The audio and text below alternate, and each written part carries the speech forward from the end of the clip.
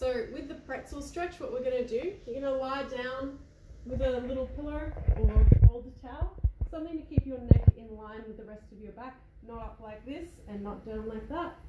So nice and straight. From here, you're going to, if you were to lie down straight, you have this shoulder on top of that shoulder. You can stretch out that arm. You're gonna have the hip uh, just in line like this as well.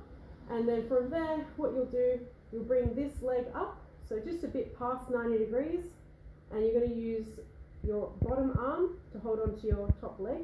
So holding it there, and then you're going to bend your back leg until you can grab your ankle. If you can't reach your ankle, you can use a towel to put around your ankle to hold. And from there, what you can do is you can bring that leg a little bit further back. So once you're in this position, you should be able to relax a bit and you should start to open up. And from there, you, if you want to make the stretch a bit bigger, what you want to do is not letting your legs move with your hands.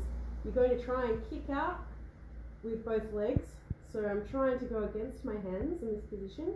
Hold it for a few seconds and then release and then you should find that you come further out.